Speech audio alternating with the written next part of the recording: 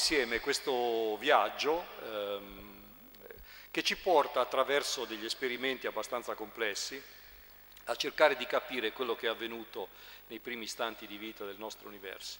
E come vedrete è veramente un viaggio nel tempo, eh, un viaggio che cerca di scandagliare la materia per cercare veramente di capire e di osservare eh, come si comportava la materia nei primi istanti, eh, subito dopo il Big Bang.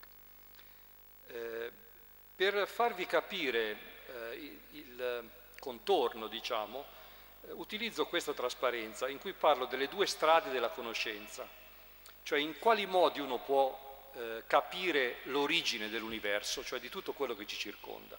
C'è il modo tradizionale sulla destra che utilizza i telescopi, cioè uno osserva, osserva lo spazio celeste, osserva gli astri, le stelle, le galassie lontane.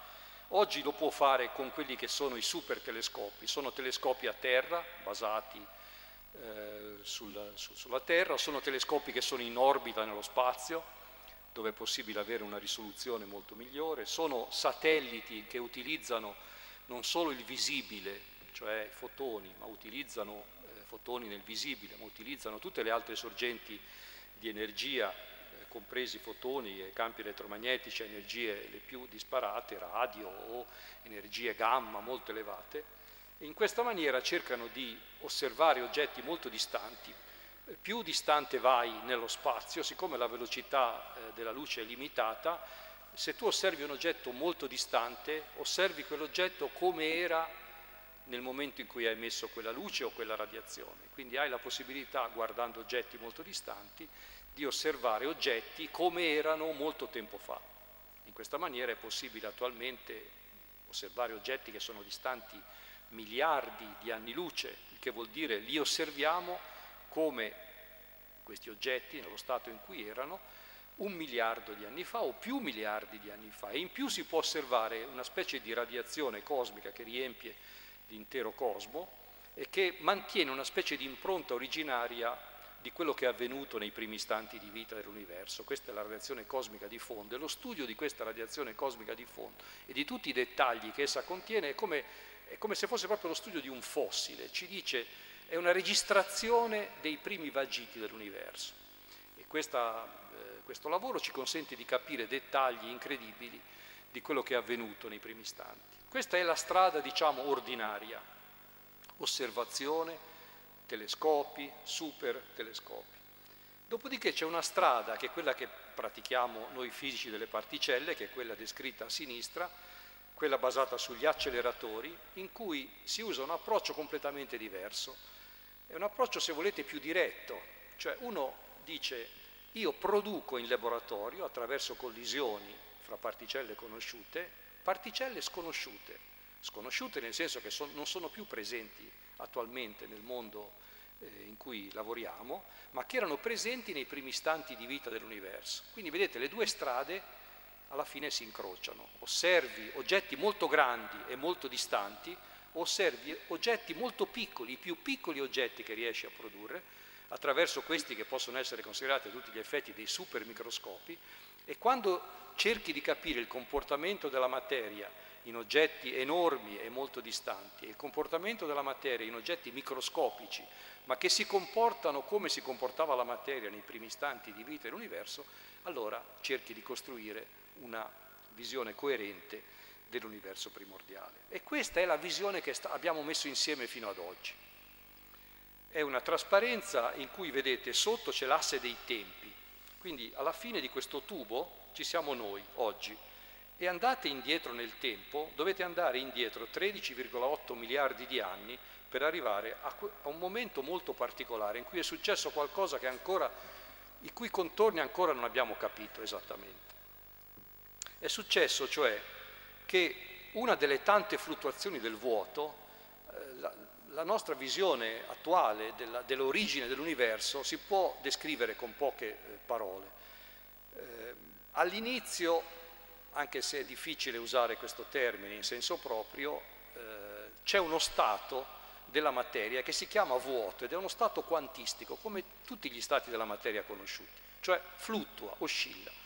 Attenzione, il vuoto non è il nulla, Questo forse è una cosa che, eh, che, che cozza un po' col senso comune. Cioè il vuoto è come se fosse pieno di tutto. Cioè, prendete un'analogia aritmetica, prendete il numero 0. Il numero 0 lo potete vedere come il non numero, ma lo potete vedere anche come un numero che contiene tutti i numeri, contiene il più 1 e il meno 1, fa 0, più 2 meno 2 fa 0. Quindi nello 0 tu potresti vedere il non numero, quindi nel, nel vuoto potresti vedere il nulla, è plausibile, ma potresti anche vederlo come l'insieme di tutte quelle possibilità compatibili con quello stato della materia. Lo 0 che contiene tutti i numeri positivi e negativi insieme, quindi contiene un insieme infinito di potenzialità di numeri. Così è il, vuoto, è il vuoto quantistico. Questo vuoto quantistico oscilla, oscilla come tutti gli stati della materia. Ecco, quello che non capiamo è che c'è stata una particolare oscillazione, avvenuta 13,8 miliardi di anni fa, che ha fatto sì che questo vuoto quantistico si trasformasse in un universo materiale, che è quello che ci circonda e che è durato 13,8 miliardi di anni, cioè è un universo materiale che, ha, che sta durando a lungo. In generale le fluttuazioni quantistiche sono fenomeni che si osservano in tanti stati della materia, per cui si aprono e si richiudono immediatamente. Quindi è normale che ci siano delle fluttuazioni che si aprono e che si richiudono. Qualunque stato della materia passa attraverso queste fluttuazioni. Non è normale che una fluttuazione duri così a lungo. È successo qualcosa in questa particolare fluttuazione che ha prodotto l'universo materiale che si è sviluppato così a lungo, talmente a lungo da produrre galassie, sistemi solari, pianeti, vita su alcuni di questi pianeti ed esseri intelligenti che si chiedono come mai è successo questo. E qui abbiamo capito molto di questo universo materiale, abbiamo capito, vedete nella, c'è stato questo Big Bang, che è una parola suggestiva, che indica semplicemente questo fenomeno di una crescita esponenziale, la chiamiamo inflazione, lo stesso termine che si usa per la crescita dei prezzi quando i, prezzi crescono all'infinito, in questo, in questo senso sta a indicare una crescita esponenziale, cioè un, un qualcosa di microscopico che in un tempo infinitesimo diventa enorme. L'universo primordiale, cioè dopo una frazione di secondo, era già mille volte più piccolo dell'universo di ora, ma già enorme. L'universo di ora è 10 alla 28 centimetri, gigantesco. L'universo primordiale era 10 alla 25 centimetri, cioè in una frazione di secondo, espandendosi a una velocità molto superiore alla velocità della luce, questo qualcosa ha spinto tutto a costruire una bolla di dimensioni immense. Cos'è questo qualcosa? Qual è il processo materiale che ha prodotto questo meccanismo è completamente sconosciuto. Qual è l'origine dell'inflazione è completamente sconosciuto. Da lì in poi ci sono voluti 300.000 anni perché la luce fosse, vi ricordate il, il detto biblico, la luce fu, è abbastanza corretto, solo che non è stato immediato, ci è voluto circa 300.000 anni perché la luce si separasse dalla materia, no? perché prima materia e luce erano un tutt'uno essenzialmente. E ci sono voluti milioni di anni, miliardi di anni per produrre stelle, galassie e per produrre un universo che ha raggiunto una fisionomia simile a quella che attualmente conosciamo. Dopodiché abbiamo osservato in questo universo due fenomeni altrettanto enigmatici. Il primo è che le galassie e gli ammassi di galassie sono tenuti insieme da qualcosa. Oltre alla materia conosciuta c'è un qualche cosa che tiene insieme la nostra galassia e la nostra galassia insieme alle altre galassie, c'è qualcosa in questa stanza, c'è qualcosa ovunque, fondamentale nella costituzione dell'universo e questo qualcosa la chiamiamo materia oscura perché non emette luce, non si vede, ma è qualcosa di presente, di importante, di decisivo nella formazione delle galassie. E un'altra cosa che ci ha stupito ancora di più, vedete questo tubo che via via si espande lentamente, alla fine aumenta, no? le dimensioni di questo tubo aumentano.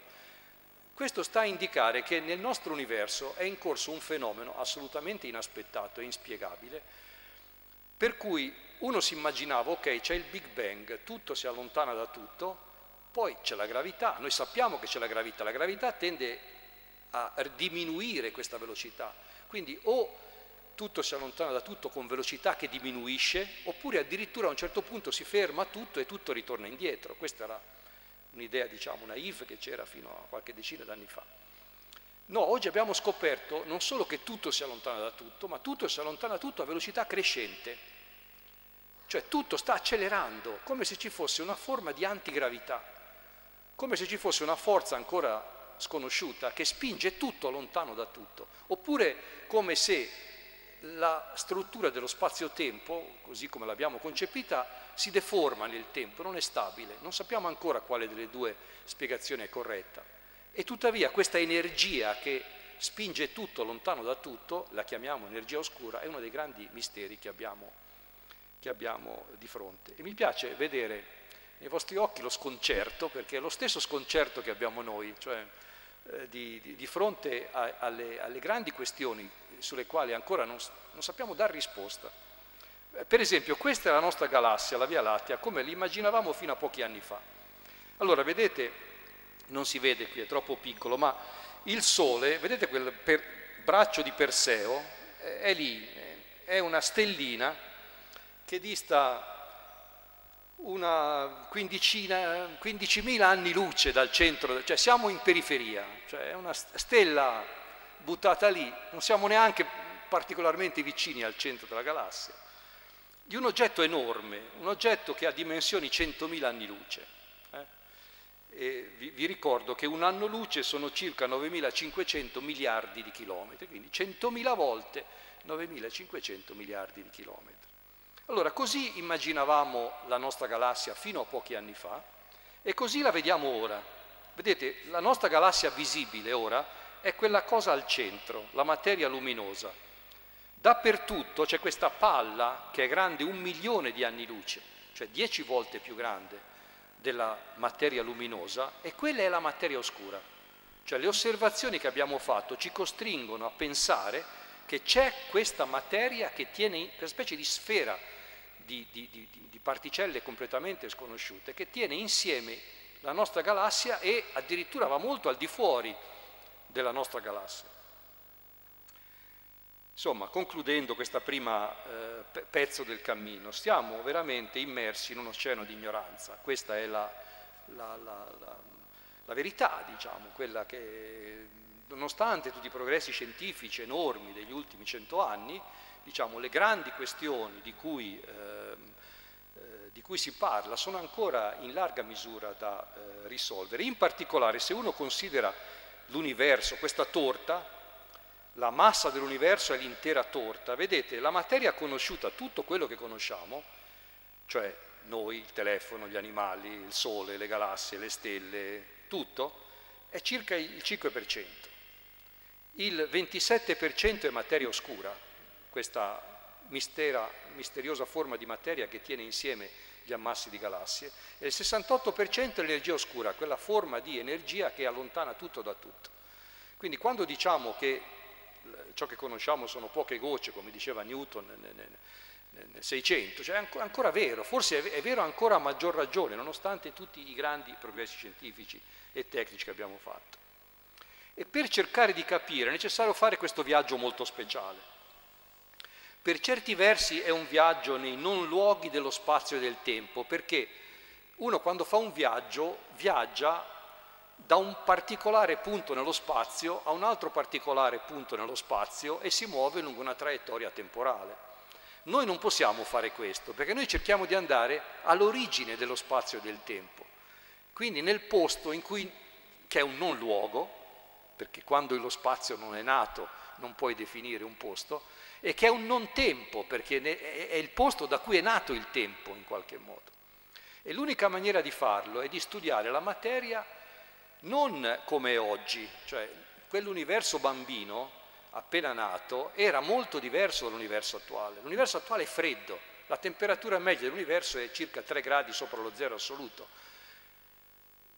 Terribile. L'universo bambino sprizzava energia da tutti i pori, la materia aveva energia da vendere, quindi non puoi pensare di capire le condizioni della materia primordiale se non riportandola a quelle condizioni di energia e di temperatura che si avvicinano il più possibile alle condizioni dell'universo primordiale. E questo è quello che facciamo, Cioè se vuoi esplorare questo non luogo del non tempo, l'unica maniera di farlo in maniera scientifica corretta è quella di riprodurre, certamente non un universo, quello non potremo farlo mai, ma piccolissimi brandelli di materia in cui riproduci quelle condizioni iniziali, le cui caratteristiche studi in grande dettaglio e allora forse capisci qual era il comportamento dell'universo primordiale. Ed è un viaggio che deve molto a un grande, questo veramente un grande fisico italiano, Enrico Fermi. Eh, Enrico Fermi nel, nel 1918 arriva a Pisa uno studente di 17 anni che fa questo test di ammissione alla... Scusate questa breve digressione storica, ma poi capirete perché eh, spendo così, tem- così, tanto tempo su, sui giovani, sui giovani fisici. Eh, fa questo test di ammissione. Questo test di ammissione io l'ho visto, potrebbe essere, ed era già allora giudico, una tesi dottorato, cioè la test per essere ammesso all'università era già valido per essere pubblicato come una tesi, diciamo. Il ragazzo è, è estremamente rapido, tutti i docenti si accorgono immediatamente che è un fuoriclasse, viene ammesso subito a fare esperimenti all'università, pubblica i primi articoli di fisica mentre è ancora studente. Si laurea a 21 anni, tanto per darvi un'idea, e a 25 anni è professore a Roma. Questa è diciamo, la, la, la, velocità della, de, de, de, del genio. Diciamo. Ecco, nel 1933, a 32 anni, lui esamina un fenomeno rarissimo, a cui si dedicavano solo gli, gli ultraspecialisti, il decadimento beta dei primi materiali radioattivi, e lui sviluppa una teoria, dice questo che vedo, questi fenomeni che erano conosciuti nell'ambito specialistico, è una nuova interazione, una nuova forza. Ed è una teoria talmente rivoluzionaria e, e, e il ragazzo di 32 anni è, insomma, è stimato, ma non è, non è conosciuto come i grandi fisici del tempo, per cui praticamente L'articolo viene rifiutato, viene rifiutato perché, dice, le speculazioni erano troppo distanti dalla realtà fisica per essere di un qualche interesse per i lettori, questa è la motivazione della, del rifiuto dell'articolo. È la teoria delle interazioni deboli, infatti per, per lunghi anni sarà chiamata interazione di Fermi. E, è, è, la teoria che spiega il Sole, la teoria che spiega il decadimento delle, de, de, dei materiali radioattivi. E lui non solo diciamo, intuisce che dietro c'è una nuova forza, ma intuisce e sviluppa le equazioni. Tant'è vero che ancora oggi si chiamano costanti di Fermi. No? Abbiamo l'intensità di questa interazione, ha il nome di Fermi, proprio perché lui per primo ne sviluppò la, eh, la teoria. Ed è uno dei pilastri di quello che 30 anni dopo, 30 anni dopo diventerà il modello standard delle particelle elementari. Cioè l'intuizione di Fermi fu un pochino l'asse portante che poi sviluppò questo tipo di, di, di teoria, che è quella, la nostra, diciamo, migliore comprensione della materia allo stato attuale. Il modello standard fu sviluppato negli anni 60-70 essenzialmente con un contributo di moltissimi bravi fisici, hanno guadagnato una decina di loro premi Nobel diciamo, da questo sviluppo, da questo lavoro, è la teoria che descrive la materia nella maniera più semplice. La materia è fatta di 12 particelle, leptoni e quark, quelle sulla sinistra, eh, che interagiscono attraverso forze, la forza forte, la forza elettromagnetica, la forza gravitazionale, la forza debole.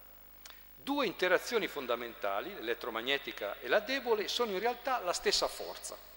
La forza elettrodebole che descrive le stesse equazioni. Quindi, vedete, si arriva, teoria di Fermi, quella interazione è una forza debole, la forza debole e la forza elettromagnetica sono la stessa cosa, come l'elettricità e il magnetismo sono la stessa cosa. Oggi tutti parlano di forza elettromagnetica, nell'Ottocento si pensava che fossero due forze diverse. Abbiamo scoperto che seguono le stesse leggi, fenomeni elettrici e fenomeni magnetici, c'è una perfetta simmetria. E così si può dire per la forza debole. Abbiamo scoperto che la forza debole è una forma di forza elettromagnetica. Infatti i fisici la chiamano elettrodebole. È un termine che ancora non è di uso comune, lo, lo diventerà magari fra qualche decennio. Per essere certi di questo ci è voluto un altro fisico italiano, ci è voluto Carlo Rubbia. Anche lui, lui è nato nel 1934, guardate il caso, un anno dopo la, eh, la, la teoria di Fermi, delle interazioni deboli, e anche lui studente brillantissimo, qui vedete la foto della, della, della foto da studente, e fu lui che scoprì, eh, produsse la prova sperimentale che questa unificazione elettromagnetismo e forza debole è corretta. Le teorie possono essere eleganti congetture e per essere verificate sperimentalmente devono produrre risultati verificabili. Se la forza elettrodebole è un'unica forza, come abbiamo trovato il fotone di massa nulla che è responsabile dell'interazione elettromagnetica, dobbiamo trovare delle altre particelle, questa volta molto pesanti, che sono responsabili della forza debole. E queste particelle sono le particelle W e Z che sono state trovate da Carlo Rubbia nell'83, scoperta che gli è valsa il premio Nobel del 94. In questo Rubbia ha un pochino chiuso il cerchio aperto da Enrico Fermi con la teoria dell'interazione debole. Però a questo punto c'è da risolvere un dettaglio, vedete com'è la fisica, risolvi un problema e ne nasce un altro. E il dettaglio è come è possibile che W e Z, portatori della forza debole, siano così massicci, vedete il lottatore di sumo che ho messo lì, W e Z sono particelle pesantissime, mentre il fotone, che porta all'interazione elettromagnetica, è così privo di massa praticamente, così leggero. E questo ha portato a ripensare un concetto che c'era sfuggito, era sfuggito a tutti, cioè cos'è esattamente la massa? Cioè se la stessa interazione è portata una volta da una particella leggerissima, massa nulla, e un'altra volta da particelle pesantissime. Ma allora, questa massa, che cos'è? Perché queste particelle, che in realtà portano la stessa interazione, hanno masse così diverse fra loro? Chi gliel'ha data questa massa? Si è dovuti affrontare e a rimettere in discussione un concetto che era vecchio di millenni e su cui anche i grandissimi fisici non avevano prestato adeguata attenzione, cioè la massa è una cosa che misurate tutti voi, quando vi mettete su una bilancia o quando andate a, a comprare un chilo di mele, fate una misura di fisica, si misura la massa degli oggetti. È stata usata come strumento di misura per lo scambio, la civiltà è nata con lo scambio, quindi io ti do un chilo di, eh, pata, no, patate, allora di, di, di, grano e tu mi dai due conchiglie, insomma, questo era, era l'inizio della, della, del, del rapporto commerciale. E tuttavia, proprio perché come quelle cose che abbiamo sempre davanti agli occhi, eh, l'essenza di questa eh, particolarità ti sfugge, no? Cioè, ce l'hai davanti agli occhi e non ti chiedi realmente che cos'è. Questo è un pochino il senso della cosa. E questo è avvenuto non solo alla gente comune, ma anche ai grandi della fisica. Galileo Galilei, che pure capì che la massa e il peso sono collegati, no? gli esperimenti, il pendolo, la caduta dei gravi, il piano inclinato. Però la massa per Galileo rimane una proprietà cioè, intrinseca della materia, cioè la materia, la materia ha massa. Newton capisce che la massa è la sorgente della forza gravitazionale, cioè io metto una massa qui, metto una massa lì, si attirano. La forza è debolissima, devono essere molto grandi queste masse per produrre una forza significativa. Lo vediamo con i pianeti, con le stelle, con i satelliti, ma tutte le masse attirano tutte le altre masse con una forza. Eppure anche per lui, che pure produsse questa rivoluzione enorme, anche per lui la massa rimase una proprietà intrinseca della materia. Addirittura Einstein, Einstein fece perlomeno due rivoluzioni sul concetto di massa. Una è riassunta nella formula E uguale mc quadro, cioè la massa è energia, punto, l'energia è massa. Oppure relatività generale, la massa curva lo spazio-tempo. Se io metto una massa in un certo posto, lo spazio vicino a questa massa non è più lo stesso, il tempo vicino a questa massa non è più lo stesso. Il tempo, il tempo vicino alla Terra corre a una velocità diversa del tempo su un satellite. Questo lo, lo, lo sappiamo, lo misuriamo, lo utilizziamo oggi. Noi sappiamo che il tempo, un orologio, l'orologio più preciso del mondo, quando è vicino a un pianeta molto pesante, corre a una certa velocità, quando ti allontani da questo pianeta molto pesante, corre a un'altra velocità. Quindi un'altra delle rivoluzioni che Einstein ha prodotto nel nostro campo, eppure anche per lui la massa rimane una proprietà intrinseca della materia, cioè non si è posto il problema, fino a che sono arrivati degli altri giovanotti, vedete quanti giovanotti si presentano in questa, in questa, in questa mia relazione. Una cinquantina di anni fa, due gruppi di scienziati, anche loro intorno ai 30 anni. Eh? Notate come si ripete no? la fisici giovani, eh, brillanti, intorno ai 30 anni di età, sviluppano teorie che all'inizio nessuno prende sul serio, tanto sono avanzate e innovative e poi magari salvo ricredersi, eccetera. Sono due gruppi di scienziati, due belgi e un, eh, uno scozzese. Qui fra l'altro vedete dalle fotografie, eh, vabbè, a sinistra sono Braut ed Engler, a destra è Peter X, quello che ha dato il nome alla particella. Vedete già dalle fotografie le diversità di carattere, no? a destra eh, Peter, tra l'altro siamo anche amici, è una persona molto gentile, educata per bene, molto british, molto formale, molto diciamo eh, per benino, mentre invece Braut ed Engler sono due eh, giocosi, anche ora uno purtroppo è deceduto diciamo due anni fa, tre anni fa, Engler è ancora scherzoso, pieno di battute, cioè si vede, si vede già no, a, quelle, a quell'età lì le caratteristiche anche del carattere. E loro per spiegare la massa dicono una eresia, dicono la massa se la volete capire, se volete capire perché il fotone non ha massa e W e Z sono così massicci, l'unica spiegazione è che il vuoto non è vuoto, il vuoto è pieno di qualcosa. Il vuoto che fino allora uno considerava vuoto, questo sì, vuoto, diventa pieno. E pieno di che? Pieno di un campo scalare, un qualche cosa che riempie, attenzione, deve riempire l'universo intero, non è che dici il vuoto nell'auditorio, l'intero universo è pieno di questo qualcosa.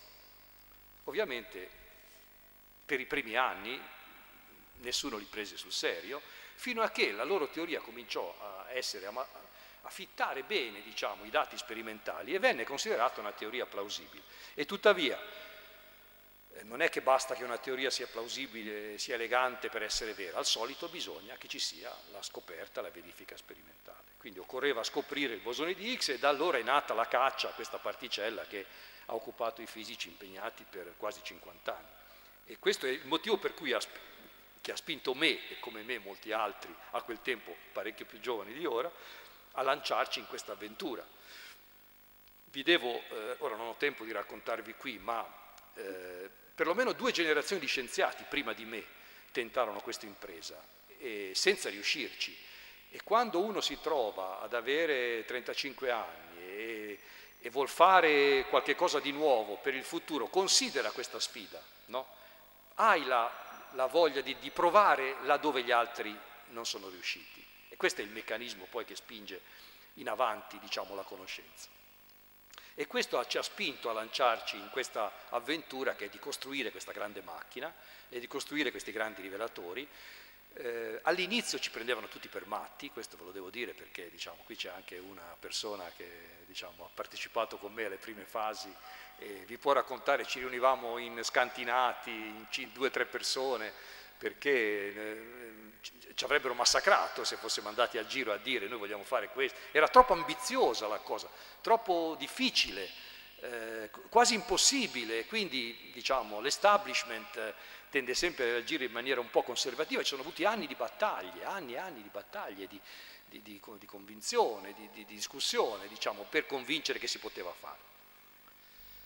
E come ogni avventura ovviamente si richiede un'attrezzatura, cioè non puoi, questo è un signore che sta, un bravissimo alpinista che è in una vetta dell'Himalaya, non puoi pensare di andare su a 7-8 mila metri senza allenamento, senza attrezzatura, con un fisico che non è adeguato a quel tipo di, eh, di, di, di sfida. Insomma. Quindi non vi meraviglierò, eh, se, non vi meraviglierete se vi dico che per realizzare questa attrezzatura che è il Large Hadron Collider, cioè il grande anello di LHC, questo anello di 27 km che si trova a Ginevra a 100 metri sottoterra, equipaggiato con grandi apparati sperimentali, ci sono voluti anni e anni di lavoro, diciamo, di, di, di sfide tecnologiche, di sviluppo in tecnologia. Chi ci diceva voi siete matti aveva ragione, aveva ragione perché le tecnologie per costruire questa non esistevano. Cioè noi non è che andavamo e chiedevamo fondi per andare a comprare qualcosa di sviluppato e di esistente, perché le cose che volevamo fare non le sapeva fare nessuno, neanche le ditte più avanzate erano in grado di farle. Quindi da, da, un certo punto di vista, anche chi ci diceva voi siete pazzi, aveva ragione, perché se uno guardava quello che sapeva fare l'industria, quello che sapevano fare i ricercatori, a quel tempo questo oggetto non si poteva fare. La sfida è stata di dire noi ci vogliamo provare lo stesso, allora hai spinto la tecnologia, l'innovazione, lo sviluppo ai limiti e sei riuscito alla fine, con anni e anni di fatica, a costruire queste meraviglie della tecnologia. Prima di arrivare a quello, perché urti fra particelle di altissima eh, energia? Allora, qui ci sono tre altri grandi della fisica. De Broglie ti dice l'energia va come l'inverso di una dimensione, cioè se tu vuoi vedere nel piccolo se vuoi costruire un microscopio molto piccolo, che, che guarda dettagli molto piccoli, devi avere un'energia molto elevata. Eh? Tant'è vero che eh, col microscopio ottico si raggiunge una certa dimensione, se vuoi vedere cose più piccole devi aumentare l'energia e devi usare gli elettroni, il microscopio elettronico ti permette di vedere dettagli che col microscopio ottico non sono visibili. Più aumenta l'energia, più piccoli sono i dettagli che vedi. Einstein ti dice hai possibilità di trasformare l'energia in massa, quindi alta energia vuol dire particelle massicce, quelle particelle massicce prodotte nei primi istanti di vita dell'universo che ora sono sparite perché è troppo freddo per, eh, per sopravvivere. Boltzmann ti dice l'energia è temperatura, alta energia vuol dire alta temperatura, quindi stai andando a portare la materia nelle condizioni di altissima temperatura nei primi istanti di vita eh, dell'universo. Quindi è veramente insieme un microscopio, un telescopio e una macchina del tempo. Ha tutte queste caratteristiche. Gli ingredienti principali sono questi tre. Ti ci vuole anzitutto un acceleratore. Con l'acceleratore fai scontrare protoni. Attraverso lo scontro di protoni produci il più delle volte particelle conosciute. Raramente, rarissimamente, puoi pensare di produrre particelle mai viste fino ad ora. Più alta l'energia, maggiore è la probabilità di trovare qualcosa di nuovo, di produrre e quindi di studiare qualcosa di nuovo. Hai bisogno di rivelatori, cioè quando hai prodotto queste particelle, per fotografarle hai bisogno di circondare la regione in cui avvengono queste collisioni con apparati che purtroppo, data la complessità di queste collisioni, diventano grandi come palazzi. Questo è un fotomontaggio in cui si vede il mio esperimento CMS, l'esperimento Atlas, messo a paragone con l'edificio in cui lavoriamo al CERN, che è un edificio di cinque piani. Quindi un esperimento di fisica delle alte energie è un esperimento grande quanto questo auditorio. Non dovete immaginare un esperimento che sta su, su, su una scrivania, diciamo. È un palazzo, un palazzo pieno di tecnologia, pieno di sensori, pieno di cavi, pieno di fibre ottiche, pieno di, eh, di chip eh, di informatica, pieno, pieno diciamo, di tutte le cose più avanzate che uno possa immaginare. E ovviamente queste cose non si fanno da sole, hai bisogno di un'organizzazione adeguata che è il CERN. Eh, nel CERN ci sono alcuni fra i migliori specialisti diciamo, di tutte le tecnologie di cui hai bisogno, hai bisogno non solo di, di fisici, hai bisogno di ingegneri, di tecnici. Ma la cosa che più sottolineo, vedete qui, eh, ci sono circa 10.000 utilizzatori che provengono da 63 paesi diversi e la cosa più importante è che ci sono un sacco di giovani. Vedete qui sotto una fotografia della scuola estiva del CERN, cui, a cui partecipano circa 300-400 giovani di tutti i paesi ogni anno. È come se diciamo, raccogliessimo lì tutte le migliori menti del pianeta che hanno una qualche interesse per la fisica fondamentale. Questo è uno degli elementi decisivi per, eh, per andare avanti, per produrre risultati. Eh, chiaramente mettere insieme questi esperimenti è stata un'impresa che è durata anni, eh, per me è stata un'avventura fantastica, nel senso che la ricordo ora con piacere, anche se attraversato, sarebbe anche divertente andare attraverso i momenti di crisi. Non dovete immaginarla come eh, una sequela continua di successi, al contrario, la vita del fisico sperimentale è una vita in cui il rischio, la paura, eh, le cose che non funzionano, il budget che non è sufficiente, gli imprevisti che eh, ti costringono ad accelerare, a correre quando il tempo non basta più, diciamo, è pane quotidiano. Eh, e quindi diciamo, questo di per sé avrebbe anche una, eh, una valenza educativa. Diciamo. Se uno vuole intraprendere questo nostro lavoro, un lavoro affascinante e bellissimo, ma è un lavoro in cui c'è il rischio, cioè non è garantito il risultato e questo deve essere dato per scontato. Eh, la ricerca scientifica è bella proprio perché eh, esplori qualcosa di sconosciuto e puoi andare incontro a tutti i rischi possibili e immaginabili, rischi di avere sopravvalutato le tue capacità, di avere sottovalutato le difficoltà, rischi di avere sottovalutato i costi o di aver sottovalutato i tempi, rischi che anche quando tutto funziona poi non riesci realmente ad avere, a trovare nell'area giusta le cose che volevi. Diciamo, questo è normale, eh? non si deve considerare di successo soltanto l'esperimento che fa la grande scoperta nostro, la nostra comunità funziona perché ci sono centinaia, migliaia di esperimenti che producono risultati e ogni tanto qualcuno, fortunatamente, produce risultati eclatanti che diventano scoperte scientifiche maggiori, ma non va dimenticato questo sforzo collettivo enorme. Qui vi faccio vedere molto rapidamente alcune fasi di questa impresa, quando abbiamo scavato la caverna a 100 metri sottoterra, vedete le dimensioni sono le dimensioni di una, ci sta una cattedrale lì dentro, nel 2003-2004, abbiamo cominciato a calare in caverna i primi componenti nel 2006, componenti equipaggiati 100 metri in superficie calati eh, nella caverna sperimentale, via via oggetti sempre più complessi. Eh, quando abbiamo installato il cuore di CMS è stato uno dei momenti eh, clou perché questo oggetto che pesava 2000 tonnellate, che era appeso 100 metri sopra, eh, nessuno sapeva realmente se saremmo riusciti a portarlo giù in sicurezza. Questo oggetto, oltre a essere pesante, è un oggetto delicatissimo, una qualunque vibrazione fuori controllo, un urto o un inconveniente avrebbe potuto determinare il fallimento globale di tutti questi anni di lavoro. Eh, questo vi dà un'idea dei, dei rischi che si corrono in questo tipo di impresa. Ed è un concentrato delle più moderne tecnologie. Qui vedete un'immagine presa durante una fase dell'installazione eh, del rivelatore. E credo che non vi meraviglierete se vi dico che abbiamo bisogno veramente di migliaia e migliaia di scienziati. Cioè non è un lavoro che possono fare 100 persone, è un lavoro in cui è richiesto lo sforzo collettivo di migliaia di persone. Per avere un'idea, Atlas e CMS hanno circa 3.000-3.300 eh, fisici, eh, studenti, ingegneri, eh, postdoc, che provengono da tutto il mondo. Eh, qui è una cosa estremamente positiva, cioè si mette insieme l'intero mondo che vuole partecipare a questa impresa. Questo è il gigante di LHC, CMS l'avete visto prima, è più piccolino del, del, nostro fratello Atlas, che è veramente enorme.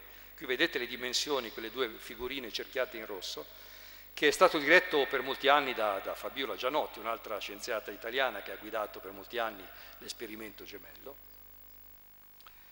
E, è la storia di molte sfide tecnologiche, ma è la storia anche di profonde emozioni. Mi piace farvi vedere questa fotografia perché eh, qui vedete un'immagine presa dopo due o tre giorni che stavamo combattendo, per, sono, è, è, il momento in cui abbiamo, per la prima volta hanno circolato fasci di alta energia in, in LHC. Abbiamo capito che si poteva fare, ci si poteva provare. E qui vedete, intanto notate me al centro con la cravatta, sono il più vecchio di tutti, che una, fa parte di quella, di, di quella, cosa che vi dicevo prima. Poi guardate gli occhi di questi ragazzi e di queste ragazze, di, di, tutti i paesi del mondo. Cioè, in quegli occhi si capisce la, la bellezza della, della, della, fisica, cioè dello sforzo collettivo, de, dell'impresa in cui ognuno fa la sua parte e quando arriva il risultato, diciamo, si... Eh, si è partecipi del risultato nel suo complesso. E quando tutti, come anche qui questa volta, adesso non, non è tempo di andare attraverso la storia di, de, della scoperta di questa particella così importante, vi dico soltanto che c'è stato un momento in cui sembrava quasi che anche il nostro sarebbe stato l'ennesimo tentativo infruttuoso. E come se fosse una beffa del destino, proprio in quel momento, quando questo sembrava l'ennesimo tentativo infruttuoso abbiamo cominciato a vedere eventi di questo tipo, molto particolari. Queste sono le fotografie di cui vi parlavo prima. Eh, noi confrontiamo le, le, fotografie che ci aspettiamo di vedere del bosone di Higgs con fotografie diciamo, di eventi considerati normali, di fondo o di processi conosciuti e quando cominci ad accumulare eventi, chiamiamoli anomali, al di sopra di una certa frequenza che ti aspetti, lì cominci a pensare che o è sbagliato, o c'è qualcosa che ti è sfuggito, oppure effettivamente questo è il segno che un nuovo stato della materia sta emergendo dai tuoi dati. Quando abbiamo cominciato a vedere eventi di questo tipo che sono spettacolari, sono segnature molto, molto, molto specifiche, molto precise, sono quelle che ci aspettavamo, quelle che sognavamo di vedere, eh, che, che, per anni e anni abbiamo sognato di vedere, eh, arrivi a un punto, dopo mesi e mesi di lavoro, che ora qui non vi descriverò, di controlli, di, di, di, di paranoica eh, controllo, ricerca dell'errore, ricerca della cosa che ti è sfuggita, perché non sei mai sicuro fino in fondo che tutto quello che vedi sia corretto, arrivi a una scoperta che resta nella storia.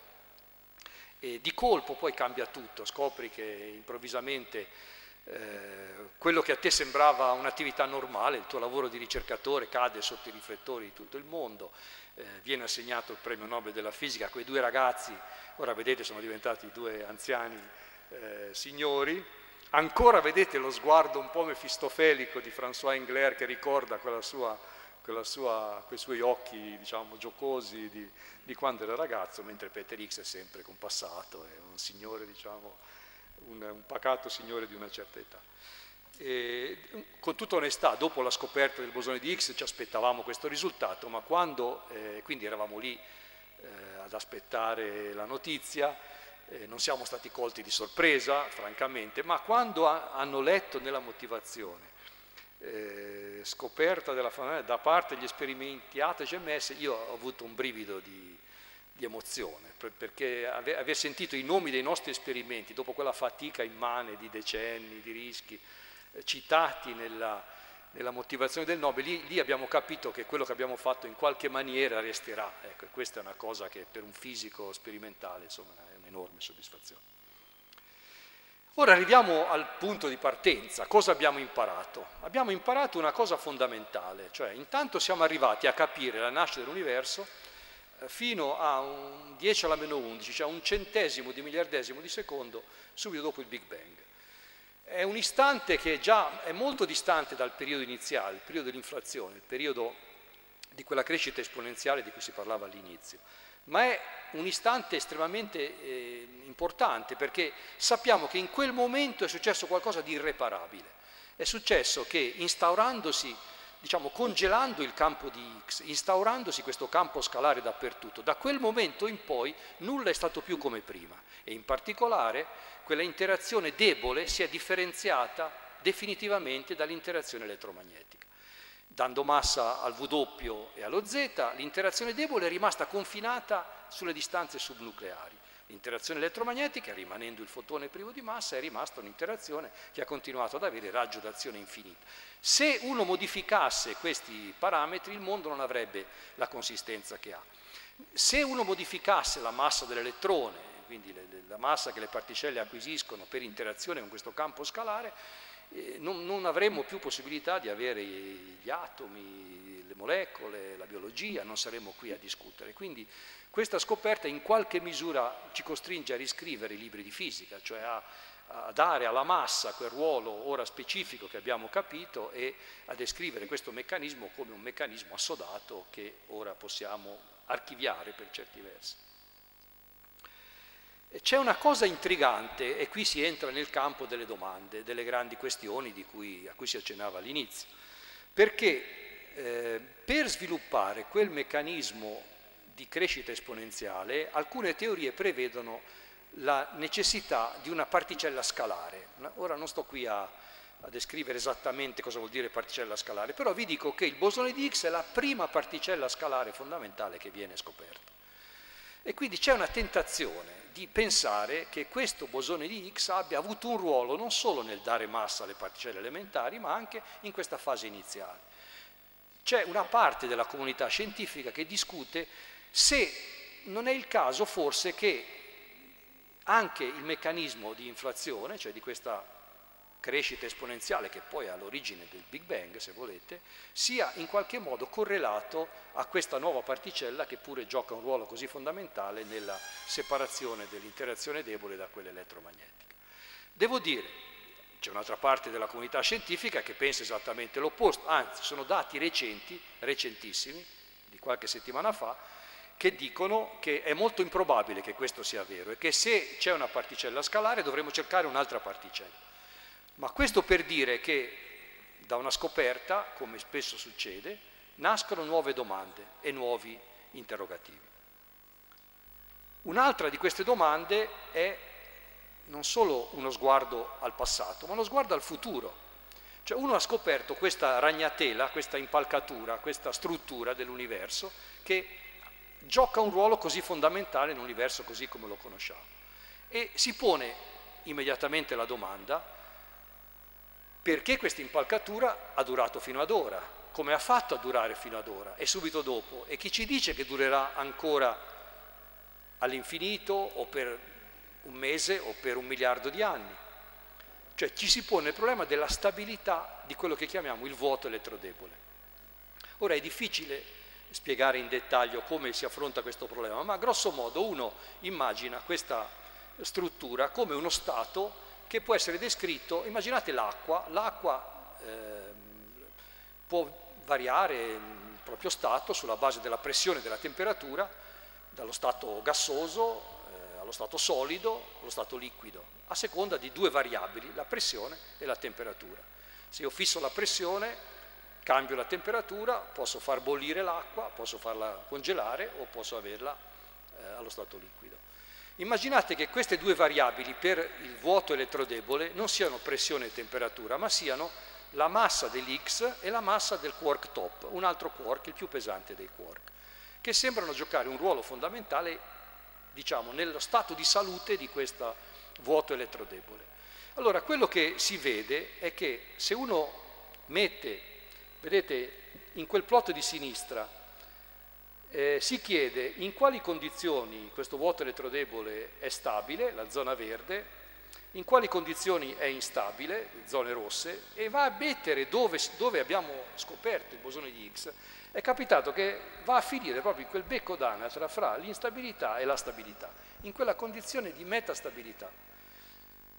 E questo è uno zoom sulla destra dello stesso grafico ed è suggestivo, anche qui non sappiamo cosa vuol dire esattamente questo, questo grafico, ci sono delle ipotesi dietro questo grafico molto importanti, però potrebbe voler dire qualcosa, potrebbe indicarci qualcosa. Abbiamo bisogno forse di ulteriori studi per capire esattamente se c'è qualche cosa di specifico nel fatto che il quark top sia così pesante e il bosone di Higgs abbia specificatamente quella massa, perché vedete, bastava spostare di poche GeV, di poche quantità la massa del bosone di Higgs e non saremmo stati qui a discutere.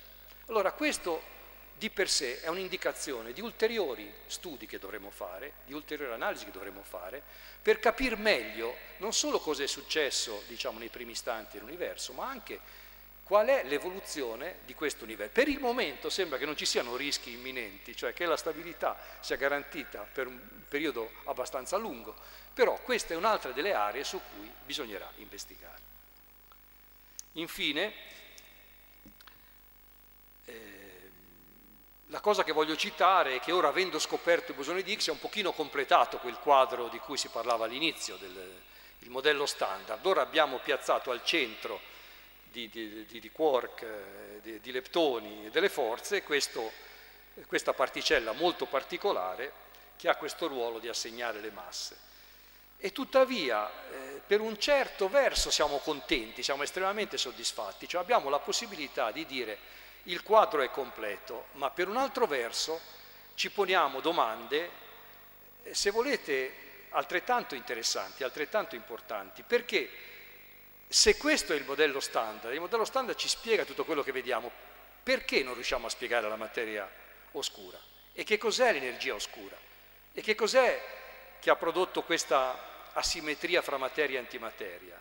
E che cos'è che unificano le, le, interazioni fondamentali? E che ruolo gioca la gravità? Cioè il modello standard, per quanto teoria di successo, non spiega alcune delle questioni fondamentali della fisica moderna, che rimangono al di fuori.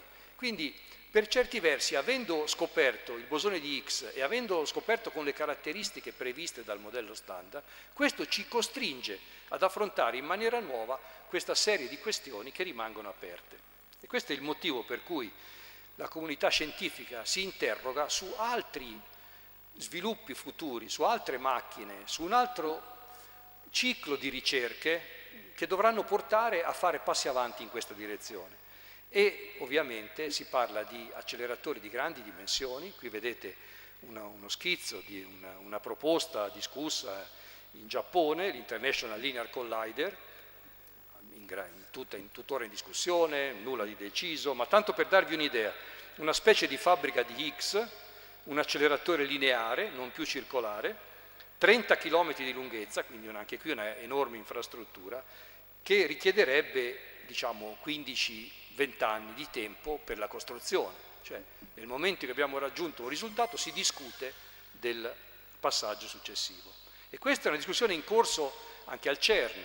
Qui vedete fotomontaggio visto dall'alto, si vede l'HC che ora è diventato quel cerchietto bianco e si vede quel cerchio giallo che sarebbe un acceleratore di 80-100 km, cui l'HC servirebbe come iniettore con un'energia sette volte maggiore di LHC che richiederebbe però 20 o 30 anni di tempo per la sua costruzione. E concludo dicendo che abbiamo bisogno, con tutta probabilità, per affrontare e risolvere alcune delle questioni aperte, che sono enormi, di cui parlavo prima, di una nuova generazione di scienziati che portano avanti nuove idee, come avete visto nel corso della presentazione è avvenuto più volte, e continuano il lavoro iniziato poco più di 400 anni fa da questo signore che osservando una, una nuova stella nel, nel, cielo cambiò tutto, eh, da quell'osservazione è cambiato il mondo intero, è, la, è nata la modernità, nulla è più stato come prima. Quindi concludo dicendo che siamo solo all'inizio di questa esplorazione, che i dubbi, le domande sono ancora enormi, eh, vi chiedo di rimanere in ascolto perché le sorprese potrebbero non essere finite, ci sono però giovani interessati, curiosi e appassionati per la fisica, le occasioni di sviluppare il loro talento e magari produrre anche idee innovative nel prossimo futuro sono sicuro che non mancheranno. Grazie mille.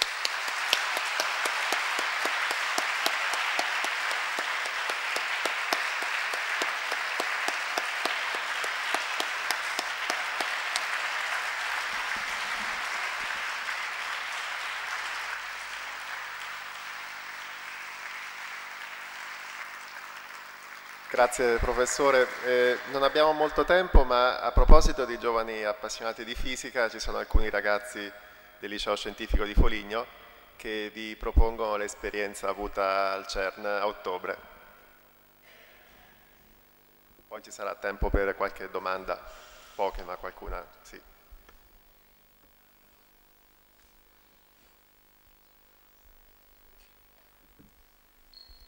Salve a tutti, sono un'alunna del liceo scientifico di Foligno, Elisa Pistoli Alunni e frequento il quarto anno.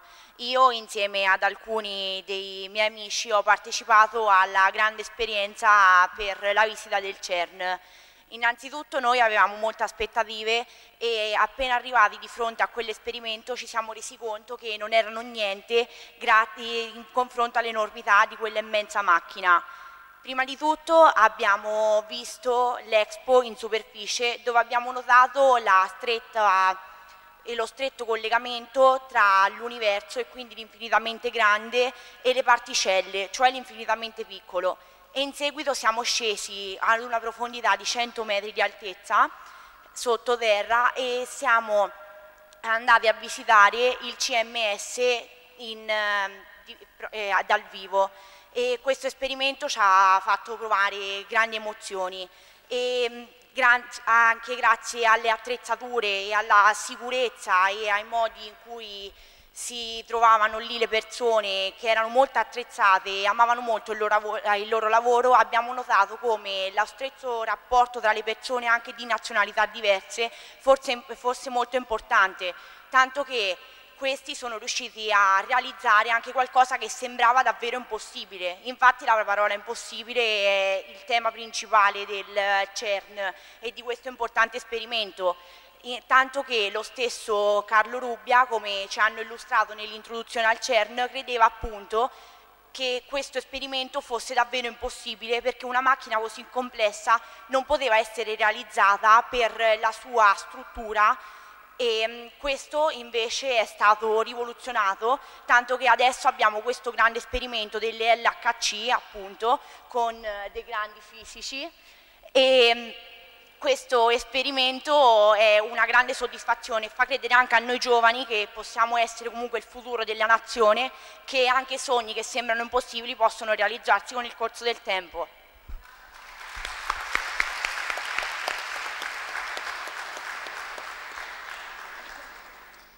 Buonasera a tutti, eh, io sono Davide Tesauri e faccio il quarto scientifico. Volevo aggiungere solo qualcosa per quanto riguarda diciamo, la sfera delle mh, amicizie.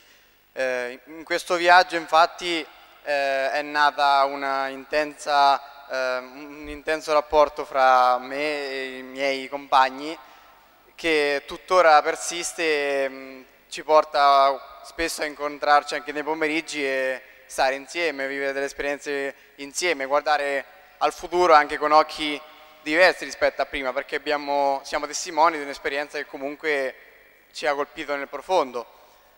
Eh, questa, questa, con questo viaggio eh, abbiamo potuto mettere diciamo, in pratica e, e vivere eh, appieno le nostre passioni per la fisica, ma non solo. Eh, e per fare questo eh, volevamo, volevo anche ringraziare eh, Metelli Calcestruzzo e Omatonti che hanno creduto in noi e ci hanno sponsorizzati in questa iniziativa. Eh, il sogno che abbiamo ora è quello di eh, vivere eh, ancora una volta questa esperienza al CERN, però questa volta eh, avere un'esperienza non solo diciamo, guardando le varie strutture e anche i vari mh, macchinari che ci sono, ma vivere proprio in prima persona l'esperienza quindi avere un'esperienza di studio-lavoro di almeno un mese, se possibile, la, al CERN per, per portare, per, per vivere al pieno le nostre passioni per la fisica e per eh, il mondo delle particelle.